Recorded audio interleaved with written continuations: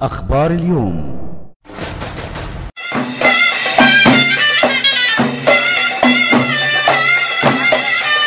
أنا ببارك الأول لأولادنا أصحاب هذا المصنع مصنع محترم ودينا لفينا مع بعض وشفنا. ده إضافة للتصدير وإضافة لإيجاد فرص عمل في المنيا و... وأي حد هيتقدم لل يعمل مصنع جديد ي- يعمل نشاط جديد كلنا بنرحب بيه وإحنا خلاص بقى إحنا